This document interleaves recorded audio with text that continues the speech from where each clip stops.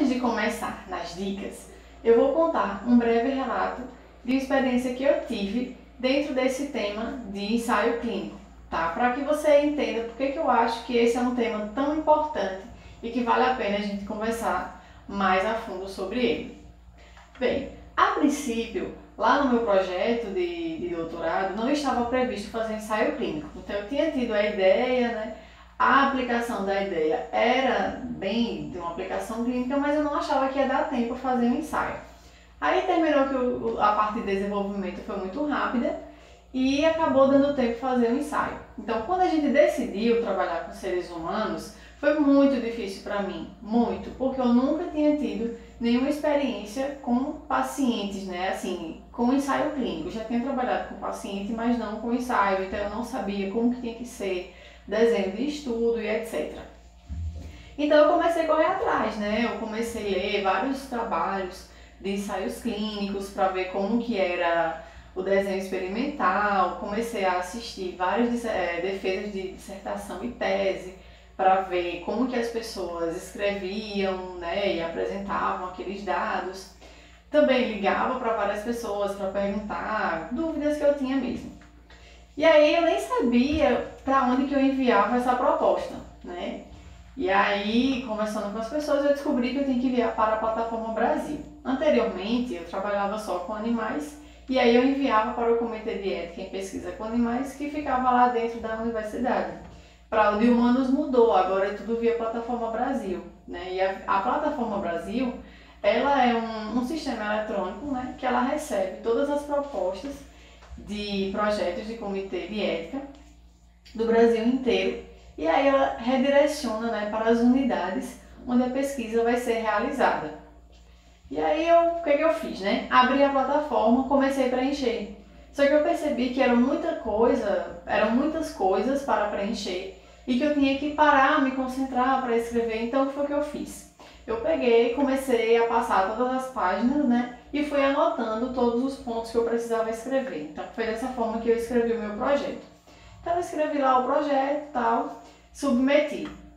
Sabe quanto tempo demorou para eu ter o meu parecer de aprovado do comitê de ética? Dois anos. Isso mesmo. Dois anos, tá? Além de, normalmente, esse processo ser relativamente demorado, o que, que aconteceu?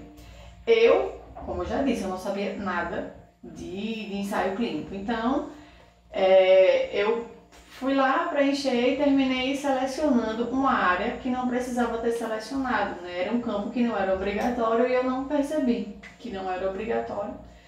E, enfim, marquei lá aquela opção. O meu trabalho né, era sobre desenvolvimento de uma formulação para testar né, em pacientes com insuficiência venosa e aí, a única opção que mais parecia lá naquela área temática com o meu projeto era, novo, era dispositivos terapêuticos novos ou não registrados no Brasil, uma coisa assim.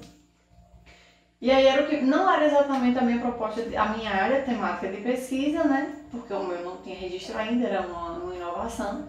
Mas eu achei que era o que mais parecia, achei de bom tom selecionar. Meu Deus, para que eu fiz isso? Então o que, que aconteceu, né? Esse projeto passou lá na reunião, depois ele voltou, aí demorou um tempão, aí ele foi, ele foi encaminhado, na verdade, para o CONEP, que é o Conselho Nacional de Ética em Pesquisa. Só os trabalhos que são preenchidos, que, onde o, o, coordenador da pesquisa ele preenche esse, essa área temática vão para lá. E aí o CONEP começou a pedir várias, vários ajustes, começou a pedir farmacocinética, é, carta de, da direção do hospital, várias coisas, né? E aí a gente começou a achar estranho.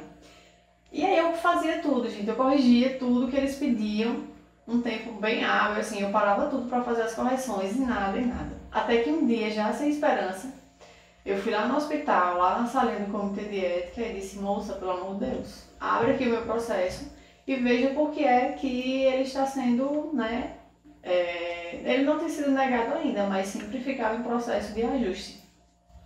Ela não queria muito olhar, mas depois ela foi lá, bem gentilmente, e olhou né, o, o meu processo, ela olhou, olhou e não achava nada assim de errado. Depois ela viu que eu tinha selecionado essa bendita área temática. Ela disse, eita Paula, não precisava você ter preenchido isso. Quando a gente preenche essa parte, é por isso que ele vai para o CONEP, e aí começa a demorar. Aí ela olhou lá nos arquivos e disse, na verdade o seu projeto ele já tinha sido aprovado desde a primeira reunião. Só que como estava essa área temática selecionada, ele precisou ser encaminhado para o CONEP. E aí já viu, né? Por isso que toda essa novela mexicana aconteceu aí no meu projeto, ele demorou tanto a ser aprovado. E por que, eu estou te contando essa história? Para você ver que você não está sozinho, né? Que muitas outras pessoas, né, assim como eu tive essa grande dificuldade com a plataforma Brasil, com o meu comitê de ética, também você pode ter essa dificuldade, ou um amigo seu pode ter essa dificuldade. Então vamos lá para as nossas dicas, né, sobre esse tema tão importante.